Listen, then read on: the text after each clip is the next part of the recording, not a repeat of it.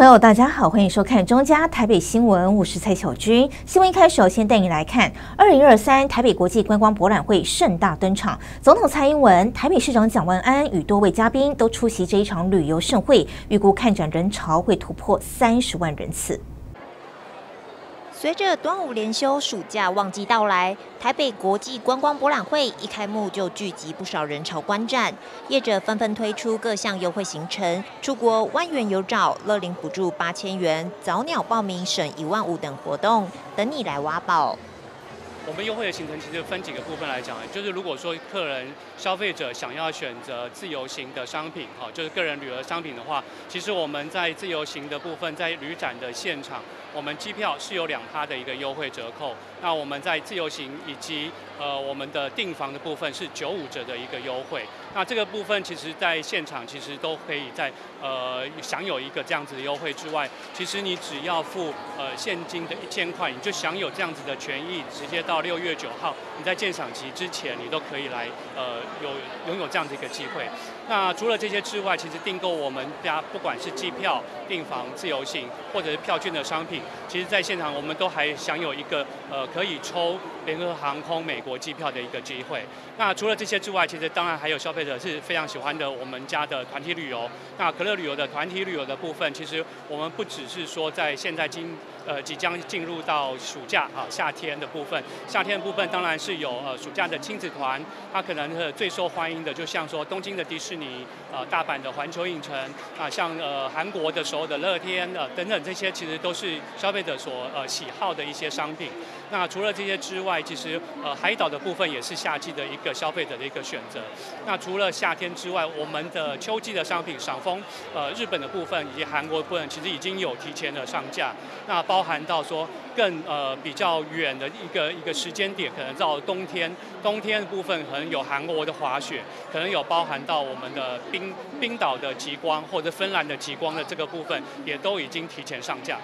博览会在世贸艺馆开幕，为期四天，集结两百五十家厂商，展位格数多达七百格，大咖贵宾出席盛会，迎来这场疫后海外旅游盛事。筹委会这次特别感谢了两百五十家的海内外厂商。五大航空公司、十六个中央单位及县市政府、五十大品牌旅行社及五星饭店伴手礼等，由您们的支持与参与，我们才能完成此次的七百个展位的规模。今年呢，我们也特别安排了 B to B 和往年不一样的同业商谈会，在今天下午两点半到四点半，会让我们的同业与各国的观光业者交流、洽谈的一个平台。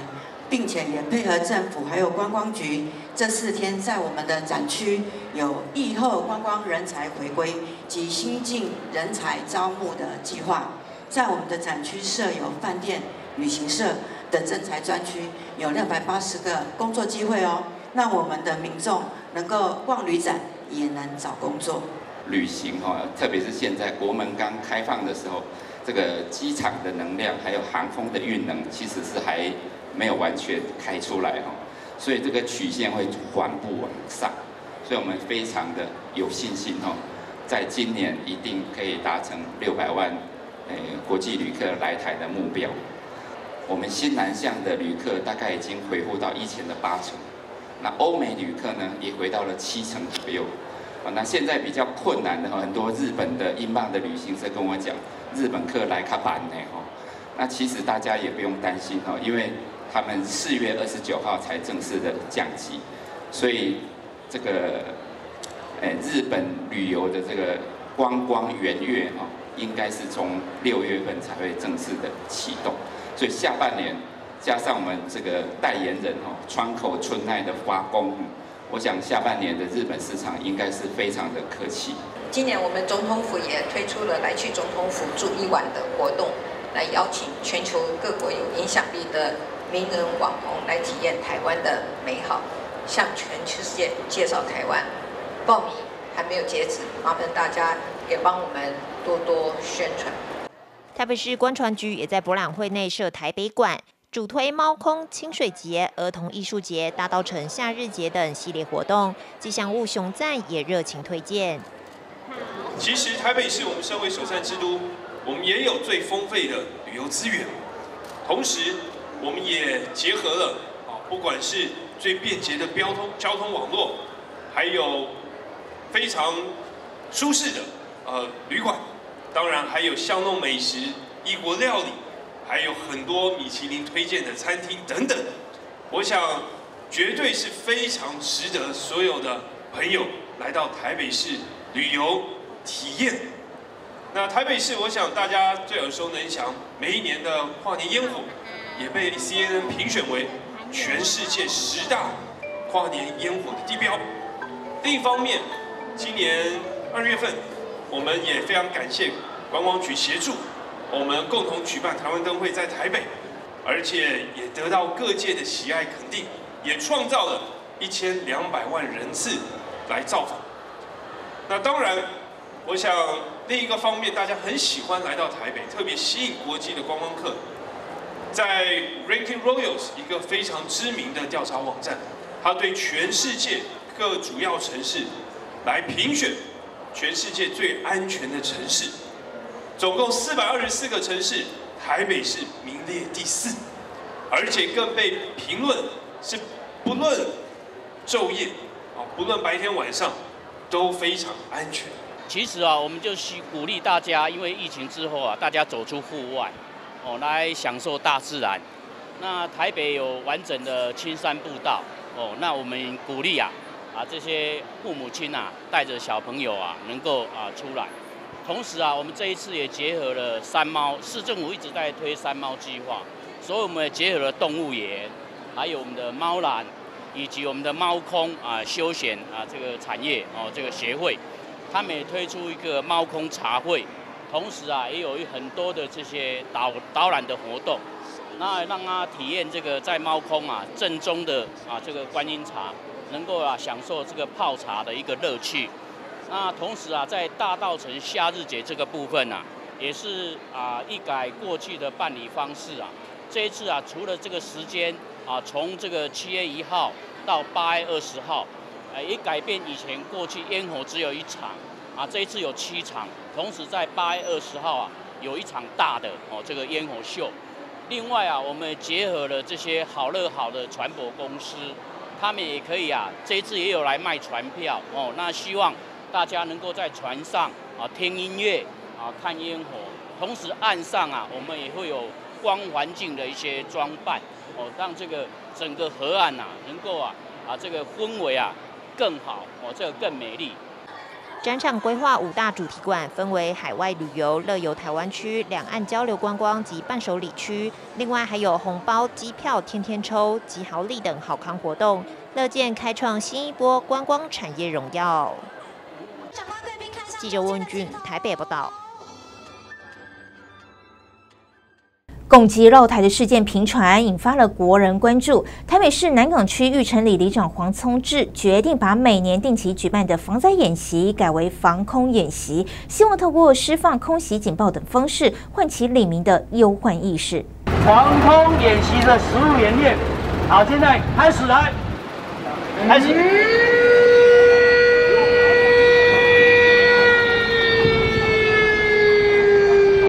空袭警报一响，在工作人员引导下，玉成里民快速的往地下室避难。这是台北市南港区玉成里首次举办的防空演习。亲自撰写演习脚本的里长黄宗志表示，因为近期攻击老台事件频传，因此他临时决定把防震演习改为防空演习，让里民了解，万一真的发生空袭时，要如何避难保护自己。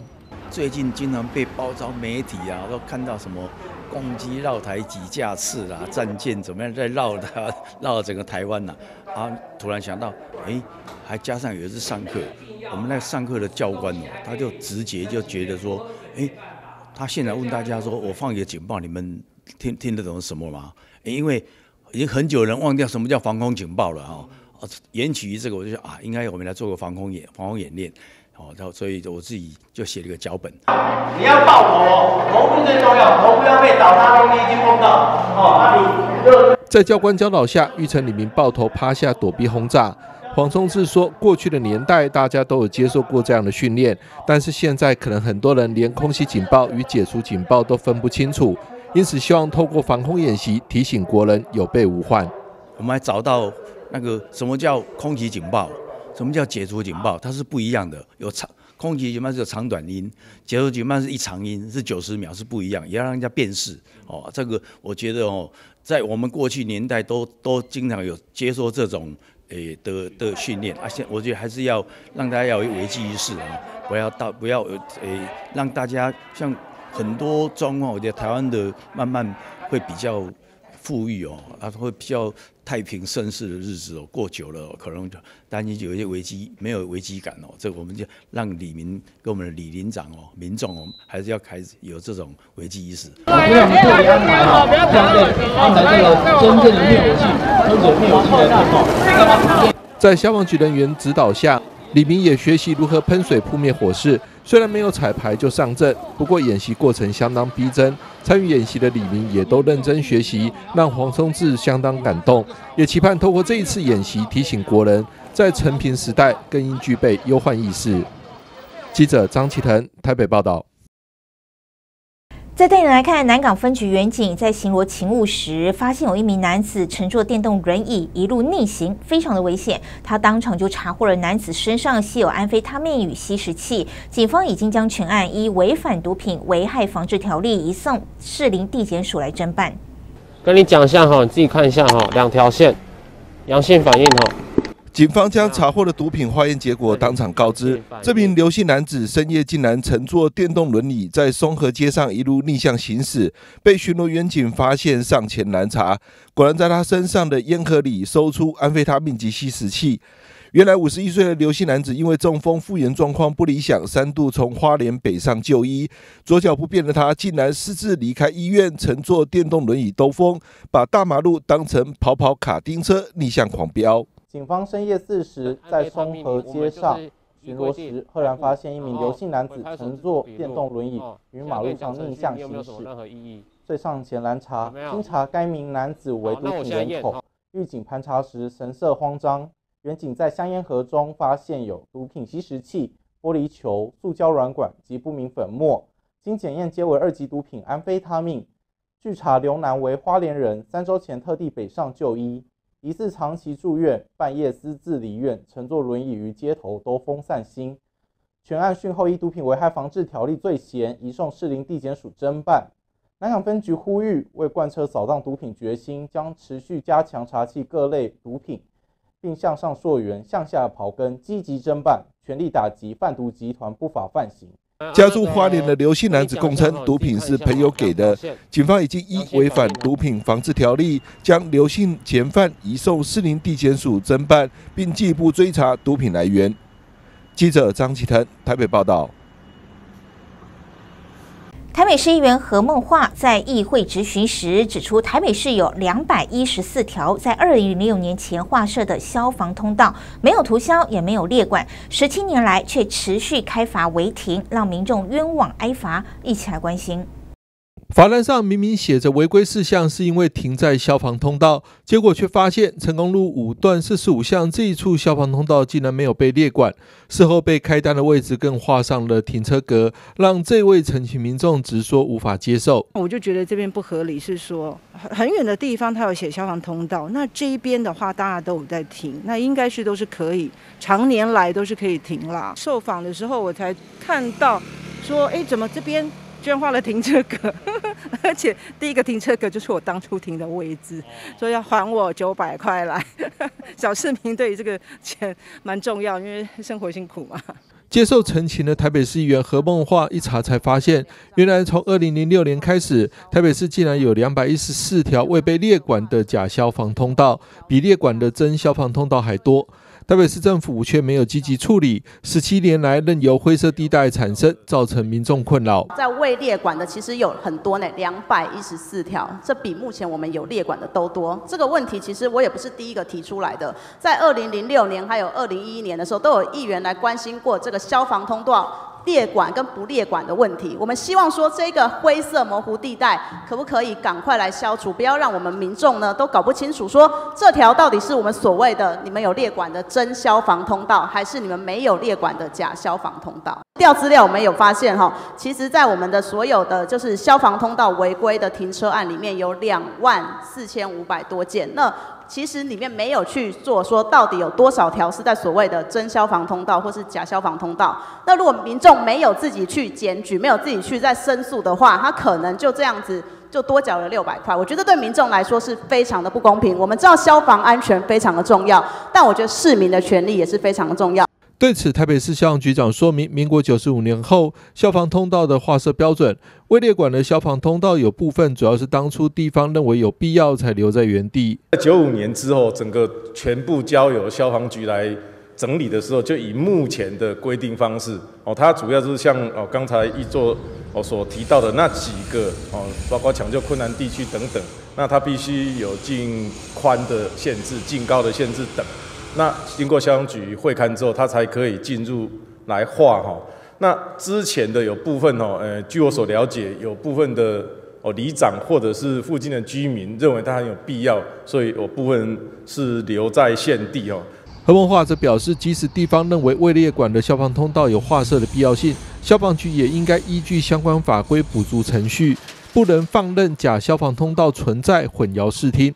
何孟化要求台北市政府消防局应该全面盘点消防通道相关法规，并与交通处研议如何改善假消防通道的问题，不要再让民众的权益受损。记者张启腾台北报道。刑事局宣布破获一个诈欺集团，嫌犯以电话向被害人声称可以取得免费的灵骨塔贩售，见面后再以需要搭配生机权、盖板、开运五宝及贩售等话术说服被害人购买这些商品，然后就避不见面，让被害人求偿无门，诈骗金额超过四千万。警方荷枪实弹进入搜查，果然查获大批刀械、改造手枪、子弹等。刑事局日前接获情资，有诈欺集团以提供免费灵骨塔贩售为由，诱骗被害人投资。得手后即避不见面，甚至更换公司据点，至少有六人被骗，诈骗金额逾四千万。集团自去年的二月份开始，从以各种话术来诱骗被害人大笔投资生机塔位及搭配和相关的一个生机罐、开运如宝等等商品来诈骗被害人。等被害人发觉有异即断绝好避。联系并不见面，令被害人求偿无门。那经警方清查，哦，已有多名的被害人哦遭该集团哦诈骗，损失上千万元以上。那该集团的一个不法犯罪所得也达到了哦四千万元以上。专案小组在追查过程中，更发现有黑道背景的夏姓祖先对旗下犯错成员手段也很凶残，甚至以暴力殴打及施行拘禁等方式逼迫筹钱偿还。下姓祖先呢，具有帮派的一个背景，为控制底下的成员，会以暴力的手段来强压好犯罪的集团成员，好进行私刑拘禁、好殴打、控制凌虐，那手段十分的凶残。警方除了将夏姓嫌犯等十人具体到案并移送地检署侦办，也呼吁民众进行投资时应提高警觉，小心查证，防范诈骗集团以低成本高获利的投资诱骗。如果有疑问，也可以拨打一六五反诈骗专线咨询，不要让自己成为诈骗集团眼中的肥羊。记者张启腾台北报道。眼见一定为真吗？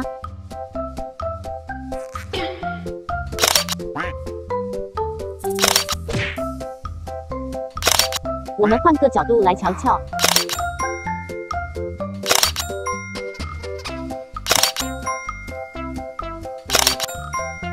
所以记住，眼见不一定为真。科技进步，人人都可以是记者、是编辑，有字有图有标题，越耸动让人印象深刻。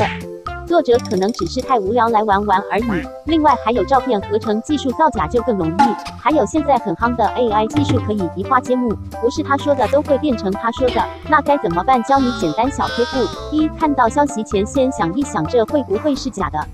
二、养成查证讯息的习惯，看看新闻来源、作者还有日期，更要透过各种管道来查证，破解假讯息。行动四不一要：不要只看标题，不要分享，不要按赞，不要惊慌，要查证，要查证，要查证。中嘉集团关心您。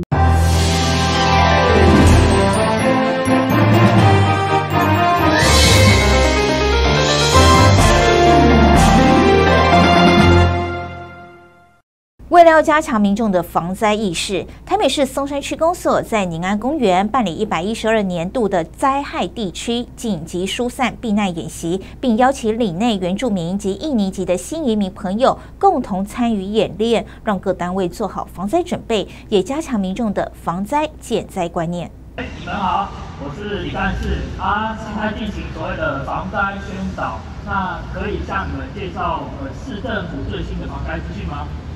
松山区公所一百一十二年度灾害地区紧急疏散避难演习演练，模拟大台北地区三角断层南段破裂，发生瑞士规模六点六的强烈地震，宁安街一带建筑物遭受严重损毁，许多民众被困其中，火灾也因为瓦斯管线破裂而爆发，情况非常危急。透过徐丽云里长带领的守望相助防灾团队，迅速展开救援工作，整合了消防局、警察局、环保局等单位力量，共同保护社区安全。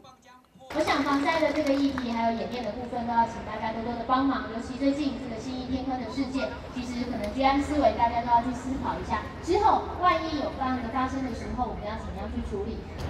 我们这边现在哈，就出这个原住民，好，等一下就麻烦你们翻译一下。好，杀啦，杀啦，赶快！我要打人，男朋友，男朋友。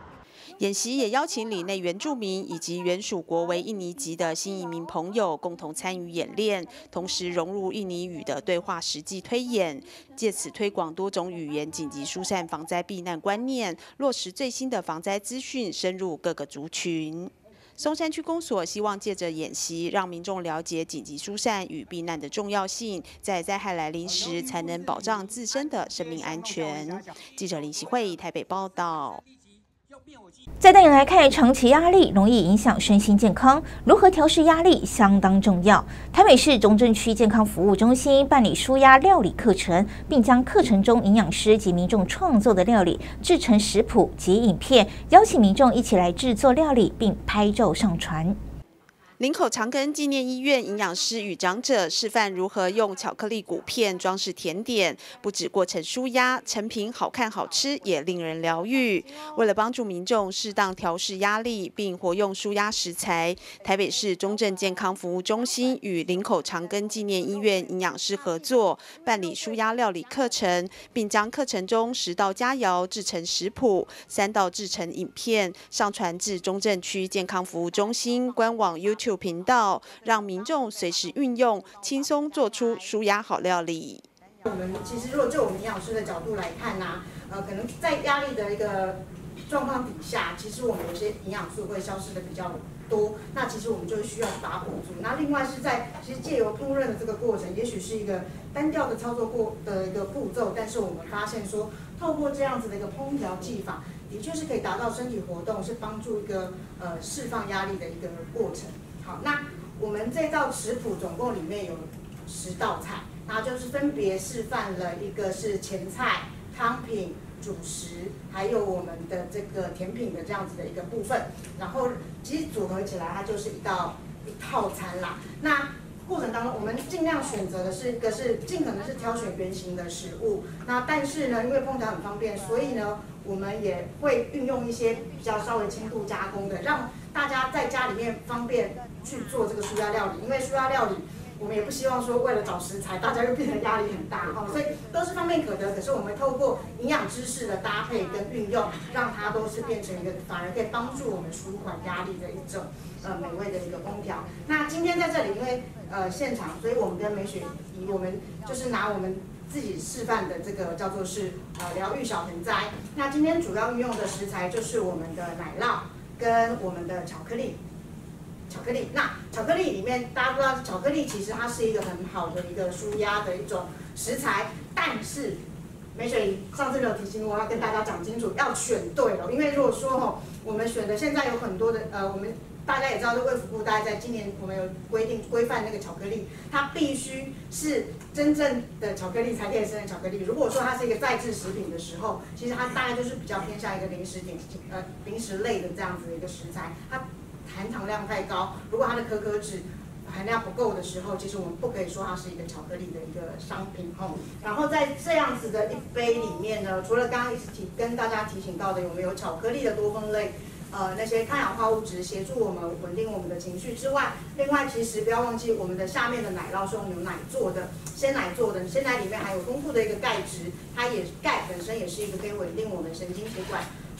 的一个情绪的一个很棒的一个物质哦。中正区健康服务中心主任于灿华表示，饮食是压力调试的辅助方式之一，欢迎民众跟着轻松做会好心情，营养师私房舒压好料理食谱以及影片，轻松做料理。根据台湾自杀防治学会在一百一十一年的调查结果显示，我们大概有三成，三十点八的民众在工作还有经济上呢，会有压力。那其中也有二十九点八。是在日常生活也会感到压力，那剩下的大概有十六点七 percent 呢是在呃心理健康，十二点七呢在身体健康呢会感到压力。那这样的一个压力呢是高于一百零九的一个趋势。好，那我们大概知道就是长期压力哈会容易影响到我们的身心健康，所以呢我们在做这些压力的调试呢是很重要的。或许大家会认为说，哎，这个饮食啊，这个料理为什么会舒压？哦，那我们看到这个饮食是由它这个外观，还有我们这一些的食材，哦，还有这个风煮的过程当中，甚至你在品尝、在味蕾享受的过程当中，其实都是可以达到一些舒压的效果。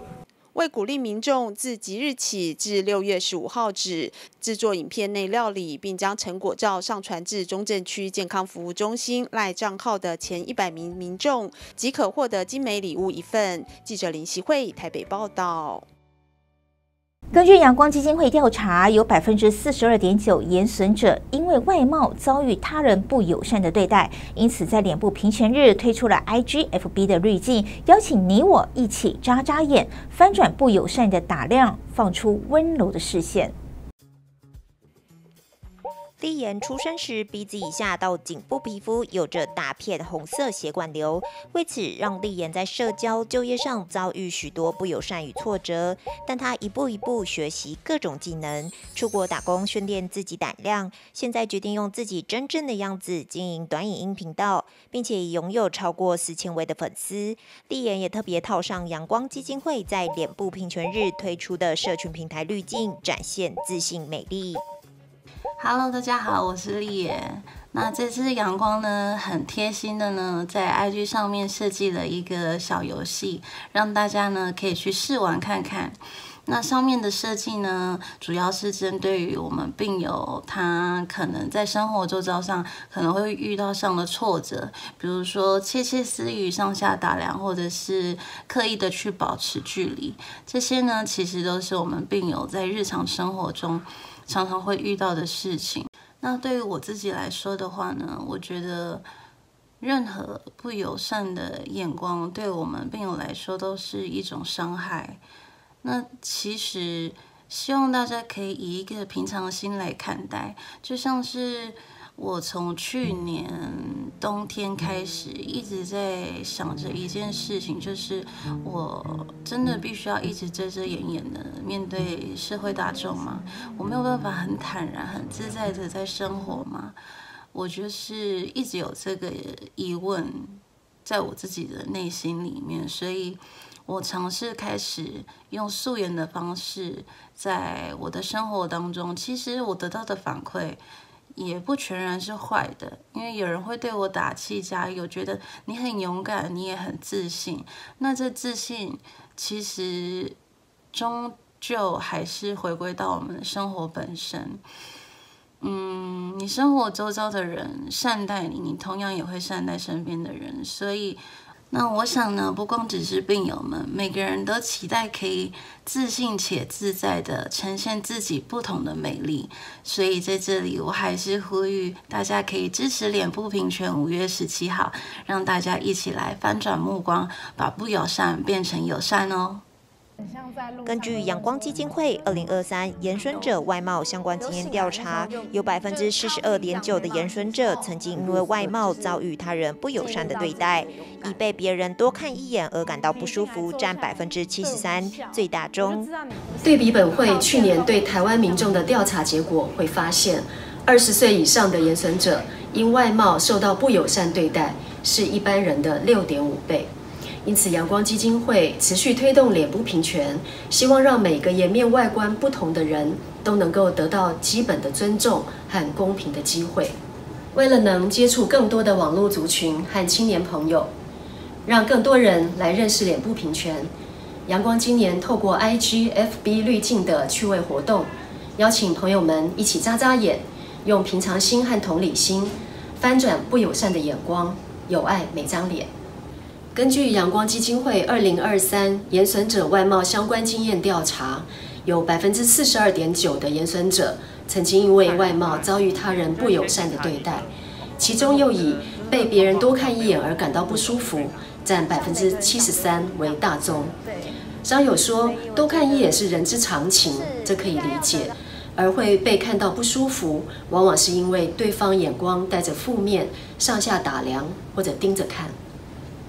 每个人都可能因为穿着打扮、高矮胖瘦等外在特征而获得不友善的目光。阳光期待在脸部平权日，邀请民众一起翻转不友善的目光，温柔看待每张脸。记者问俊，台北报道。台北市观船局今年全新规划大稻城夏日节，七月一号到八月二十号在延平河滨公园举行活动，整合原有的夏季活动，并与在地的商店业者合作，推出专属的优惠，打造全台最具代表性的夏季活动。今年夏天，台北大稻城夏日节，七月一号到八月二十号，在大稻城码头延平河滨公园盛大登场。活动结合游船灯饰装点、八场精彩烟火秀、河滨灯饰串联及夏日美食的四大主打特色，更与在地商圈业者、旅行社合作，推出专属优惠活动及街区游船行程，打造全台最具代表性的夏季活动。过去我们观光总局办的这个大稻城情人节，就是每在每个农历的七夕哦前一个礼礼拜六，我们会在这个地方就会有这个呃非常绚丽的烟火来释放。那呃局长上来之后，他觉得这样子，其实我们这样的活动其实应该这么好的活动，然后应该让它办得更长久一点。当然，对于各位而言，其实一种希望能够把把这个中南部旅客带上来，那些对我们产业有些帮助哦。所以我们今年开始，我们希望把它从七月一号开始哦，一直到八月二十号，就是情人节的前夕的前一个这个礼拜六礼拜天哦。那在这个地方，我们就会有总共长达五十一天的这个活动。那五十一天活动大概有哪些内容呢？接下来我跟跟各位介绍。首先我们会有这个呃，包括游船的这个灯饰这个布置哦，包括这样各位现在在呃。坐的这这艘船，我们船身啊，这个会有灯饰的灯光的布置。那我们在这个大城这个码头，还有这个延平河滨公园呢，我在三号跟呃五号跟四号码头之间呢，我们水门之间呢，我们会有这个岸上的这个呃光环境的布置，也就是说。到了从七月一号开始呢，大各位到这个我们这个大澳城码头来，你就会看到水上哎，其实船是有有光有光环境的布置，有光点的这个呃布置，然后我们岸上也是有这光的布置，它等着它其实整个氛围就会营造起来。然后下一页。然后我们同时也准备了，当然这个烟火是不可或缺的哦。那烟火呢，我们会释放呢，会说在每个礼拜三，每个礼拜三的晚上，我们现在预计是在八点半过后再避开这个呃我们的上下班下班的人潮。每个礼拜礼拜三晚上八点会这个这个中低空的这个烟火的释放哦，然后到最后一场，到会有我们八月二十号这礼拜天的最后一场，我们会有过去的规模的大场的这个。包括有高峰的烟火释放哦，所以总共从七月一号到八月二十号，总共会有八场。七加一场就八场的烟火释放。那另外呢，呃，其实暑假就是当然就是很多的这个呃小朋友是暑假放暑假时间，那我们会有这个大型游具进驻在这个地方，让这个嗯呃家长们都可以带着小朋友到这边来呃玩，享受这边河岸的这个风光哦。那当然河河边其实我们还有本来原本就已经有货柜市集，那我们已经跟呃货柜市集都已经谈好了，这到时候他们会有音乐，然后这个美食，到时候呢大欢迎大家到这边来，就带客到这边来哦，就是我们可以呃。从下午进呃，在这个呃我们的这个梨花街哦商圈逛一逛，走完之后呢，到这边来，我们可以这个呃吃点东西，然后听个音乐，然后看看晚霞，然后呢就是呃在河上这个呃游船一下，再到八点多你从等着烟火释放，它就是一个呃呃很好的一个夏天的一个一个游程哦，下面。那当然就是我们的呃有一些我们有包装一些这个呃小旅行哦，就是大家可以我们呃可以利用这样子的一个规划呢，大家可以想说，哎，那你你你的游程该怎么样包，怎么把这个游客带进来。那我们这个蓝色公路这个游程，我们会有呃，我们在标案里面其实会有一点点补贴哦，让民众可以比较少量的这个呃比较优惠的方式呢，就可以呃呃上船来玩。那我们还会有这个主题日的规划，对吧？比如说可能礼拜一、礼拜就是亲子日，那礼拜一大爸爸妈妈带着小朋友来的时候呢，呃，可能就是我们就凭着这个呃这个身份的优惠呢，你可以上船就优惠，或者是到迪化街商圈有优惠，还有到我们这个码头在呃和货柜市集在呃享用这些美食呃餐点的时候会有一些优惠哦。所以呃会有这个呃每个礼拜一到礼拜呃五每一天都有针对不同的族群有不同的优惠哦。那这些就是我们呃暂时呃规划出来，然后从七月一号开始一直到八月十号，就会希望呃在呃这个暑假能够带给这个大家完全不一样的这个大稻城的呃呃情人节，跟过去呃我们过去叫情人节，现在管夏日节，享受那种夏日的呃呃缤纷快乐这种感觉。大稻城码头好玩之处，让关船局局长陈淑慧为您介绍住宿、交通、好吃好玩攻略。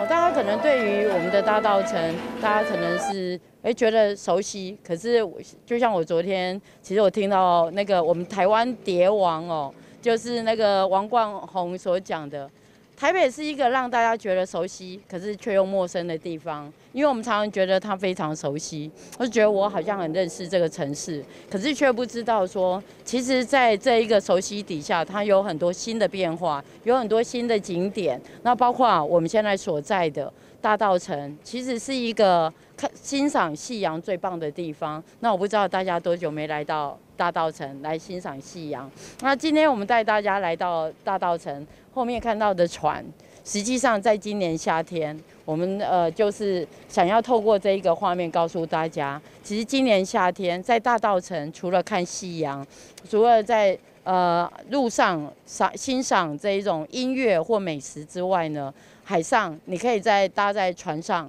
哦，喝杯饮料哦，很悠闲的喝杯饮料，跟三五好友，然后另外呢还可以吃吃点简单的。食物，那在这个部分底下，你除了乘水上的我们讲呃船乘船体验之外，在整个夏天，呃七月一号到八月二十，哦，只要是傍晚时分到晚上九点钟，我们这个陆域上面有很棒的、很很浪漫的灯光，哦，船上也有灯光，你从路上看水上，水上看路上。都是一个完全不同的风情，那也有一些小朋友玩的游乐设施。也就是说，我们这里整个夏天是呃老少咸宜的地方。那我讲，一个天天这个船，它你都可以去在船上做体验。欢迎大家夏日来台北，感受烟火展演、水岸夜景与旧城文化，来一场浪漫的夏日旅行。记者汪俊、尹品义台北报道。您喜欢吃市场的肉干吗？二零二三台北传统市场节特别以顶级肉干大赏为主题，汇集全台北十一家传统市场的经典肉干摊，要让民众选出心目中的第一名。这么薄的肉干哈，它只有零点一到零点三左右而已。用薄到会透光的肉片烤出美味肉质。位于大直市场的肉干老店业者强调，一只猪只有两坨肉可以做，它是整块腱子肉，哦。微微动一下，然后刀切，用机器把它切出来，这样切出来是整块的哦。我们不是那个组合什么的，而且做成这种全部都是整块的腱子肉，哦。这一只猪只有两坨而已。另一家在兰州市场的知名肉干摊则推出薯条、肉干等创意商品，业者也分享好吃的关键。我做法就是要腌，要进来要先先冷冻，你你。以后才在那个再出来再割起来再腌制，腌制再再进去腌两天两两天两夜，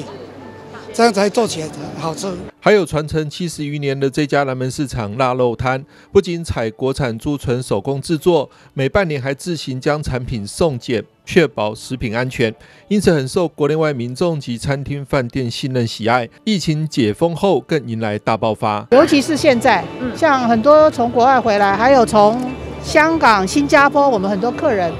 因为他们很喜欢用我们的金华火腿，还有这些。那有些常常已经三年都没回来，我们最近观光客这一群非常的多。请启动二零二三台北传统市场节，再来一片，香味无限。一年一度的台北传统市场节即将登场，今年以顶级肉干大赏作为主题，汇聚全台北市十一家市场名摊进行 PK，邀民众投票选出天下第一肉干王。本身也是肉干控的台北市政府产业发展局长陈俊安说：“每一家都好吃，真的很难选。今年特别以肉干为主题，所以我们有一个肉干的大赏。那当然。”我们也把美食放在我们今年的主题当中，所以今年有一百多摊的美食来角逐我们的饕客最爱吃的摊位。所以邀请所有的市民好朋友们，在五月二十七号、五月二十八号都可以一起来到我们的花博公园，参加我们的台北的传统市场节，一起品尝台北市场的特色美食，也感受台北传统市场的不一样的文化。另外，还有一百二十家饕客最爱吃熟食及饮料名摊参赛，争夺年度代表、天下第一摊。除了网络投票，还会有一百位在地向导前往各摊进行秘密评鉴。顶级肉干大赏部分也将在活动当天进行公开美食评选。五月二十七号到五月二十八号，在花博长廊登场的台北传统市场节主场活动，还规划有多种亲子活动、闯关游戏、消费几点换好礼及响应环保自备购物袋换购物金。与五十元铜板价、限量购等多项优惠，并透过食物的美味、场域的人情味及体验的趣味，让民众重新认识传统市场，感受到地的台北味。记者张启腾台北报道。散播假消息好可怕，让我来带您看一起假消息的社会案件。话说，基隆有一名妇人在聊天群组分享自来接中药行夫妻确诊死亡，还附上消毒照片，在 LINE 群组不断被转传，越闹越大。连中南部亲友也知道，搞得左邻右舍都很紧张，大家避之唯恐不。及后来结果怎么样？雷中药行夫妻根本没死啊，也没确诊啊。当地里长找到这名散播消息的妇人，他解释并不是有意的，只是转传，没想。到事态会这么严重，他亲自前往下跪登门道歉。中药行老板最后决定原谅他，不追究。这是真实案例，要告诉您，疫情期间假消息可能就在您身边，一定要聪明辨别。记得一，眼见不一定为真；二，分享前再想一下；三，养成讯息查证的习惯。记得一，眼见不一定为真；二，分享前再想一下；三，养成讯息查证的习惯，因为很重要，所以讲两遍。要记得，欧中家集团关心您。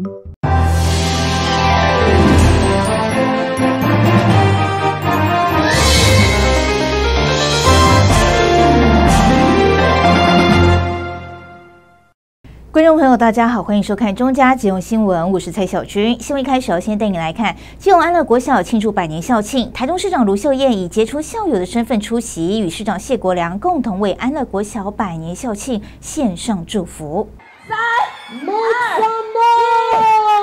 二一。安乐国小庆祝百年校庆，市长谢国良亲自参加之外，最大亮点就是台中市长卢秀燕也以杰出校友的身份回来母校参加百年校庆。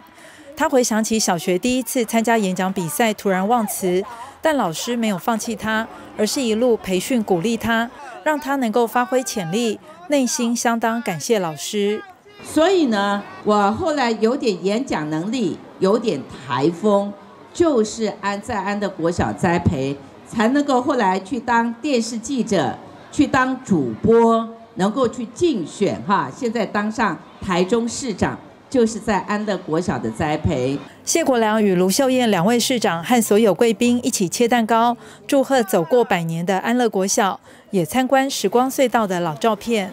那现在看到很多老照片，大概就是我那个时代的，非常可爱。我记得安德国小以前的棒球队都很强，对，所以我刚才有特别提到哈。然后学校的五育也很均衡，是一所好学校。那作育英才无数，所以这个我毕业到现在几乎都没有回来过。所以因为常常回来激动，可是因为公务繁忙，我大概回来一下就就就事情办我就就离开，所以好像没有回来过学校。所以今天回到学校，小时候的那个印象都跑出来了，所以很高兴今天回来。感觉非常的开心，尤其又有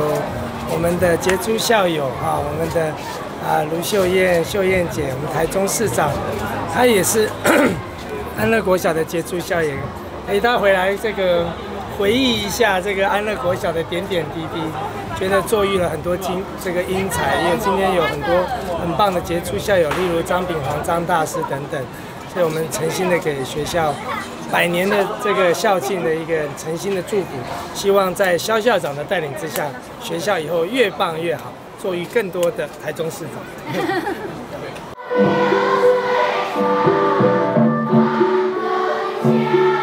这场安乐国小百年校庆的现场，贵宾云集，包括多位基隆市议员，还有来自各界的杰出校友，有企业界、音乐界、艺术界和教育界，大家都抱着感恩的心回到母校参加校庆。今年的年初，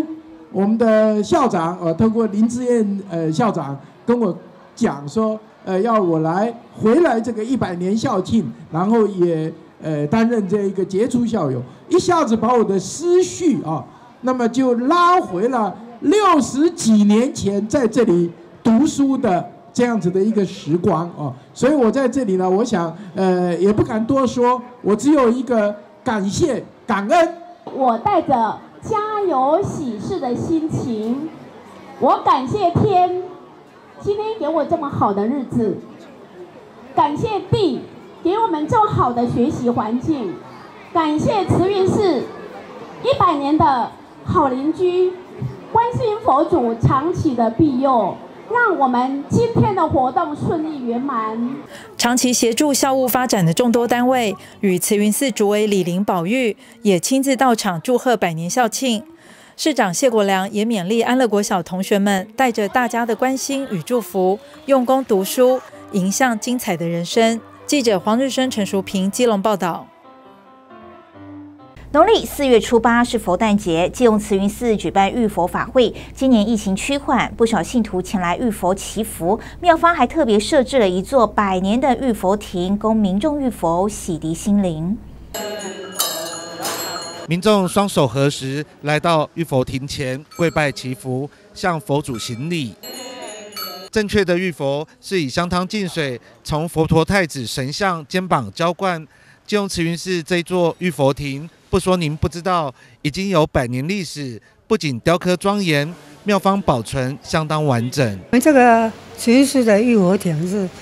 已经有一百零一年，就保存的很好。那个我们不需要说再上油漆还是什么亮亮光的，呃，一年。拿出来浴火一次，收起来，要用的时候就干布擦一擦。你看多，将来是个国宝，看了雕的非常精细。今年疫情趋缓，借用慈云寺举办浴佛法会，在庄严的诵经声中，信徒跟着队伍双手合十。虔诚祈福。呃，跟疫情之后比起来，人已经少很多了，对，少很多了。对对对，可能今天，可能今天是上班时间了，所以人比较少一点。呃，求身体健康，全家都平安，大家健康。哎，很开心呐，哎呀，就是因为我也相，我也有信佛啊，都有在学习呀。啊，初一十五都会来这边念佛啊，拜忏呐。因为虽然不是假日，可是因为也是很多人。来这这边浴火，还有那个浴火的意思就是说，把那个呃整年的那个我们的运运气呀、贪增持，哈，佛教佛教的我们的释迦牟尼要要浴火，要从那个肩膀上洗下去，不能不能绕在头上。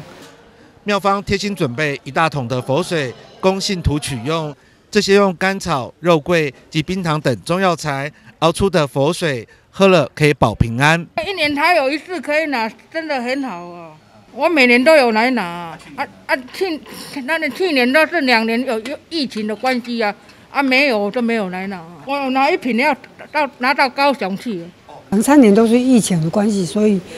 有我们有有有有煮那个那个浴浴火浴火水哦，可是不能带去回去吃。啊，今年可以，里面是桂枝了，还有那个薄荷，很多那个，还有什么冰糖哦，很很多那个很好的中药材去熬的，很香，很香，所以咱很多信众都带回去。佛诞节，信徒参加诵经祈福仪式，借由庄严的浴佛仪式来洗涤身心灵。记者黄少明基隆报道。接下来要带你来看，基隆市安乐区某国小十一名学生喝了营养午餐提供的鲜乳后，出现了身体不适，分别送往基隆长庚及布利基隆医院。基隆市长谢国良、教育处长刘美兰第一时间前往医院探视学生，强调校方已经启动疑似食物中毒的处理流程。急诊室里头，小朋友在家长陪同下准备领药回家休养。原来上午学生在喝了营养午餐提供的鲜奶。陆续出现身体不适，被学校送到医院。呃，说有一点不舒服。那现在情况呢？嗯，看精神还不错。这起校园疑似食物中毒事件发生在二十六号上午，学生喝了牛奶觉得有异味，通知老师。随后陆续有十一位学生出现了恶心、想吐、肚子疼痛等症状。大概在八点多九点的时候，我们有接到那个班级老师反映有。几位孩子，因为我们今天是喝鲜奶的日子，那学生喝完鲜奶之后，有几位反映说不舒服，那我们就紧急处理。那除了进行消安通报之外，那处长也指示我们一定要妥善谨慎来处理。那我们当下就把不舒服、身体有异的学生先集合起来。那全校的鲜奶，如果还没喝的，我们都请就暂时停止饮用。那这十位，呃，我们目前是十一位孩子，有七位在，有七位在长庚，有四位在布利基隆医院。那目前呢，都是处于观察的阶段，目前孩子的身体状况都还好。那后续的一些食品检验的部分，我们今天早上也立刻通知厂商住校，那协助处理后续。金龙市长谢国良、教育处长刘美兰在第一时间从议会赶到医院探视身体不是学生。嗯，不舒服，肚子很痛。现在呢？嗯，没有很痛。在探视完学生之后，市长谢国良强调，是否会追查原因，依照卫生法规，一定会开罚严办。呃，有一些已经好很多，然后有一些。呃，稍微反映一下，还有一些疼痛，我们会依法会调查清楚。那如果是他们的责任的话。那我们会按照卫生相关的法规，一定会开罚，然后也会了解一下为什么会发生这样的事情。那都是三年级的孩子，在早上吃到呃喝到这些呃有味道的牛奶之后，其实立刻跟学校端的反应，那学校端也立刻呃去做一个相关的调查之后，那把这些乳乳制品的部分都已经有做了一些回收的处理。所以呢，目前依照各个孩子的状况，那学校端有包括也派出社工，还有一些相关的。呃，主任们来做一些协助，那务必让孩子的健康得到第一时间的一个守护。那在那个乳品的部分，我们有呃，除了刚呃处长讲的留下来之外，我们也有送相关的病原菌菌的化验。然后病原菌化验的结果，我们会根据食品安全卫生法，如果验出一些会造成疾病的病原菌，会呃处以罚款。那这个部分会根据后续检验的结果做厘清。十一名身体不适的学生，经过医师诊查，开立症状缓解治疗药物之后，身体上没有大碍。市长谢国良提醒学生要好好休养，并和同学相约再到学校探视同学。记者黄少明借用报道。而这十一位学生紧急送医治疗后，大多平安回家。市议会教育小组的议员就非常的关心，特地邀集国小的校长、教育处长及卫生局长报告相关的处理情况。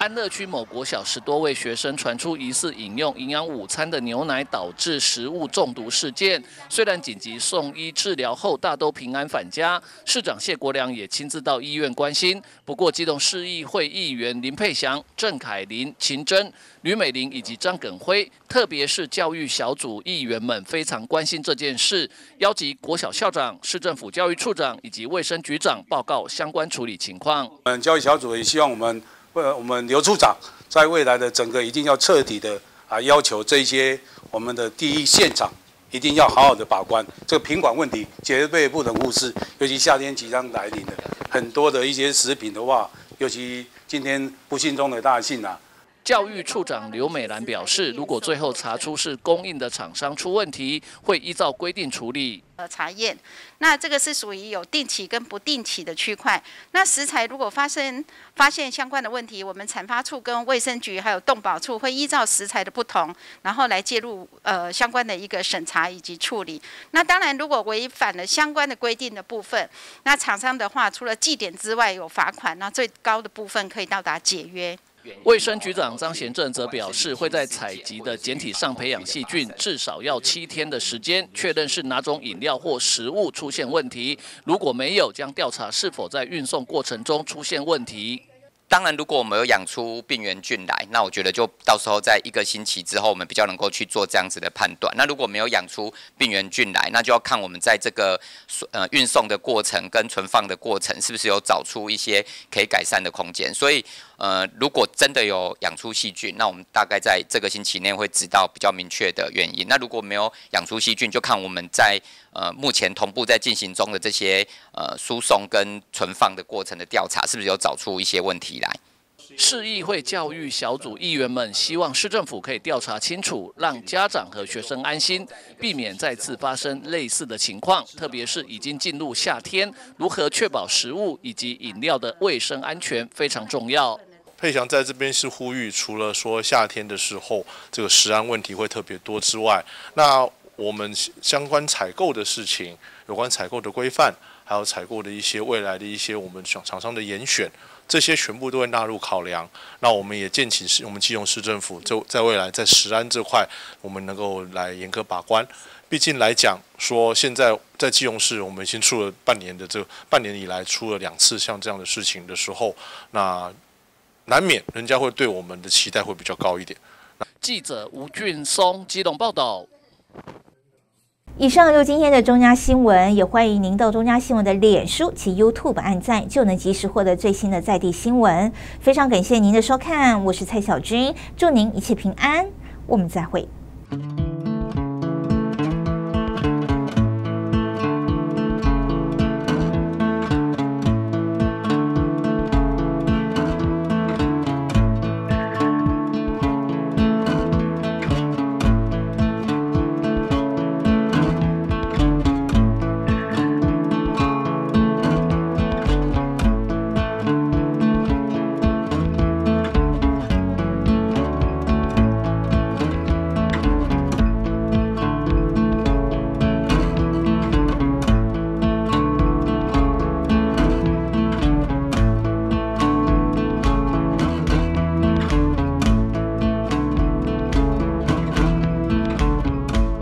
播假消息好可怕，让我来带您看一起假消息的社会案件。话说，基隆有一名妇人在聊天群组分享自来接中药行夫妻确诊死亡，还附上消毒照片，在 LINE 群组不断被转传，越闹越大。连中南部亲友也知道，搞得左邻右舍都很紧张，大家避之唯恐不及。后来结果怎么样？雷中药行夫妻根本没死啊，也没确诊啊。当地里长找到这名散播消息的妇人，他解释并不是有意的，只是转传，没想到。事态会这么严重，他亲自前往下跪登门道歉。中药行老板最后决定原谅他，不追究，这是真实案例。要告诉您，疫情期间假消息可能就在您身边，一定要聪明辨别。记得一，眼见不一定为真；二，分享前再想一下；三，养成讯息查证的习惯。记得一，眼见不一定为真；二，分享前再想一下；三，养成讯息查证的习惯，因为很重要，所以讲两遍。要记得，欧中家集团关心您。